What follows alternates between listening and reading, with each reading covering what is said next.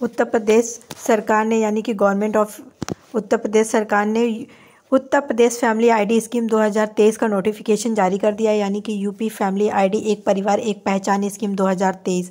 तो आप इस पर देख सकते हैं कि रजिस्ट्रेशन किस प्रकार से करना होगा। तो जो ऑनलाइन फॉर्म भरने की तारीख है वह आपके 9 फरवरी 2023 से शुरू हो चुकी है और लास्ट डेट भरने की अभी कोई नहीं तय की गई है। तो इसमें जो फ़ीस है आपकी जनरल ओबीसी डब्ल्यूएस के लिए ज़ीरो रुपये है, यानी कि कोई भी चार्जेस नहीं है एस सी के लिए कोई भी चार्जेस नहीं है। तो आप इस पर जो एज क्राइटेरिया यानी कि एज की जो लिमिट रखी गई मिनिमम और मैक्सिमम एज कोई भी नहीं रखी गई है, उसी के साथ में आप देख सकते हैं कि स्कीम का नाम जो रखा गया है, आपका यूपी फैमिली आईडी एक परिवार, एक पहचान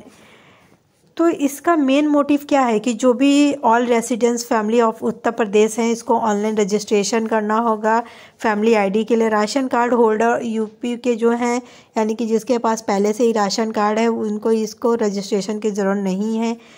नेम ऑफ़ द स्कीम में एक परिवार, एक पहचान, एक इसके क्या है कि family ID number of family